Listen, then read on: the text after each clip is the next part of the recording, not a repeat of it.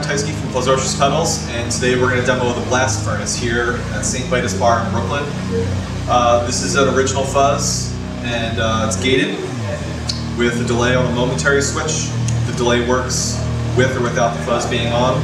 You've got tone bypass or tone on, you can adjust it with the trim pot. Uh, today we are going to have Steve Brodsky of Mutoid Man and Cave In, which inspired this whole day, uh, to play the song Cave In by the band Codeine. Enjoy.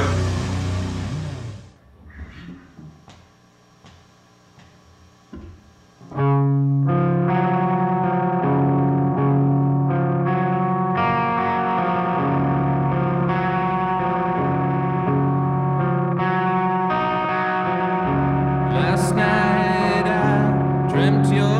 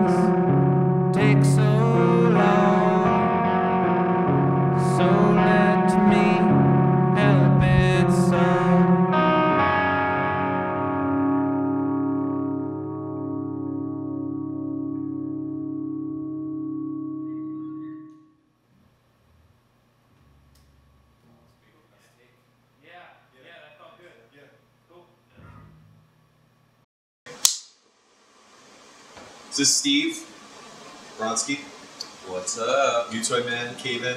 Um, I was driving home from a Stompbox Sonic event in Boston, and Cave In's cover of the Codeine song Cave In came on, and when I was thinking about how to demo this pedal, this song felt like it fit perfectly to capture this general sound from what they did. So I asked Steve, and he agreed. So I sure did. I was very happy to agree to this project um, for a number of reasons. I'm a big fan of Fuzz Fuzzrocious. I love all the gadgets, the electronic goodies, the surprise element of what Ryan's cooking up next. And I do think this song actually was a great way to demonstrate the pedal because it's, at least Cave In's cover of the song is very low end heavy. Um, it is very much dominated by Caleb Schofield in the sonic department. And, um, you know, I don't know why JR and Adam weren't present on the recording. It's sort of strange. Those days are a little foggy. There are little pockets of blackout, but um, hey, um, for this purpose, I think it served pretty well to recreate, for the most part, what was going on with the uh, original cover version. So uh, I'm tweaking it to make it work for this thing. Yeah. Yeah, absolutely. Um, you were doing this cool sort of rhythmic element with the expression pedal. Um, that kind of helped my bad timing. um, and it also was a cool way to demonstrate how to use this thing in another way. Would have Steve come here and help us demo the blast furnace with Cave In's cover of Codeine because in a fever idea, a drive home from Boston, it felt like the thing that fit. Yeah, it made a lot of sense to me because that song, at least Cave In's version of it, is very, very low end heavy. It's pretty much dominated by Caleb Schofield, the bass player of Cave In. Um, so I thought it was a very worthwhile experiment for this particular gadget. So, in a feverish idea, on a drive home from Boston, the Cave In cover of Codeine came on, and the song spoke to me in the way the pedal speaks to me as well. Um, it felt like a really good fit, so I contacted Steve to come in and recreate it here live.